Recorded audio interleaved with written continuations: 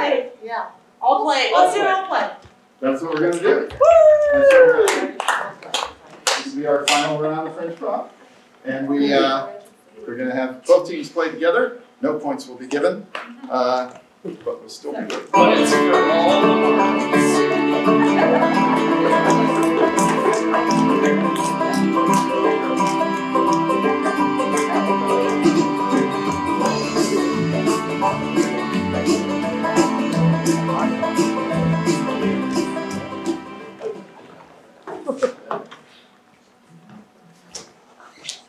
They've all seen it anyway, so that's, that's good. We're doing all teams. This show's called Salted Onions. Oh. Live reading of a stranger's diary. Has anyone here seen the Salted Onions? Cody! Would you like to be our judge? Sure. Alright. Contestant should judge, he just does it all. He's part of the show now. Oops. Okay, alright. Salted onions, uh, who, who, have you all seen it? We've all seen it. I You've all seen it? all seen it. Okay. Oh. So that means That means- Well, let's see what they do with it.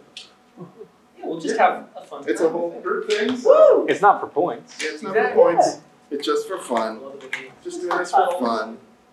we got a beer straight now. Saudade Onions, Live Readings of a Stranger's Diary by Wes Kester.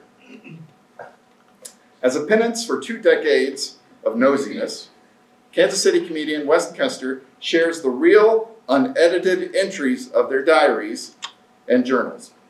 From years of awkward adolescence to their current entries as recent as yesterday.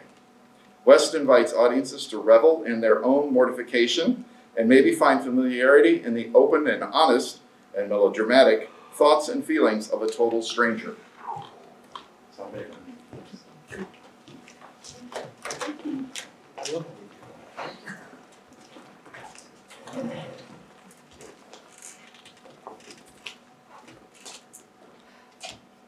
Bo Burnham is so sexy. That's what I would say if this was a dream. But really, this is real life. Wes, it's me, Bo. And I'm every bit of feminist as you'd hope. Really? Whoa, I was just journaling about you and now you're here. I'm here. Or am I in your dream? Whoa, I don't know what's real and what's not, but you know what? This feels good and I'm okay with that. So, should we do some comedy together? What do you say? Oh no. What? I What? came to tell you to quit. What? That's right. You're not tall enough. It's me, Phoebe Bridgers. You were talking about a boyfriend, Bill Burnham. What? This is a nightmare. I'm writing a song about you. Really? Oh, you're a homework. Well, maybe my fan fiction is actually you guys both fighting over me. Is that okay? I love that. Continue. Okay. Wes, age seven. Hey everybody!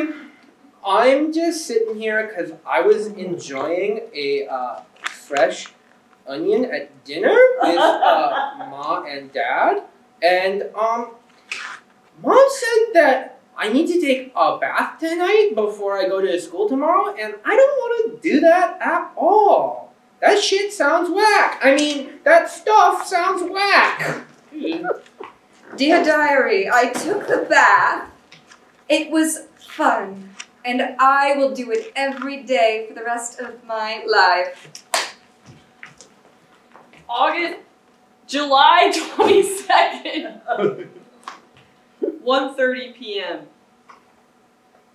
I'm 25 now, and I'm still taking baths. I was reading entries from many moons ago, and I figured out that I've grown a lot. Hey Wes, great show last night. Oh, thanks. Bo?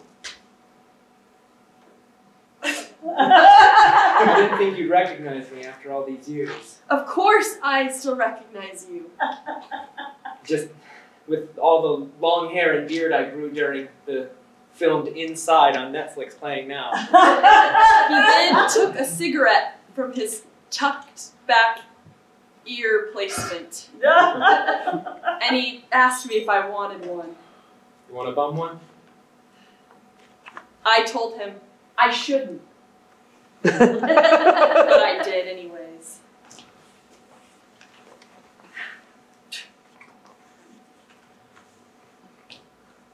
So you uh, still writing that?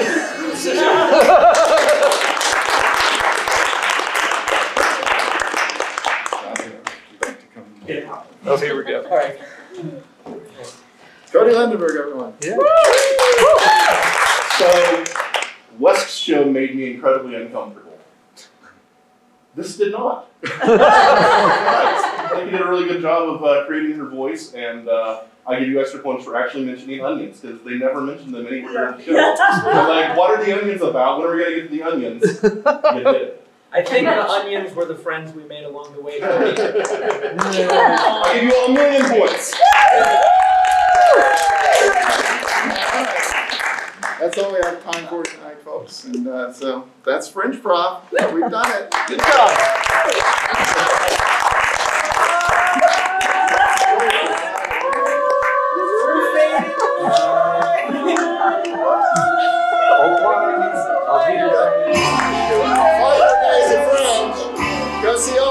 You can, and we'll meet you in the lobby.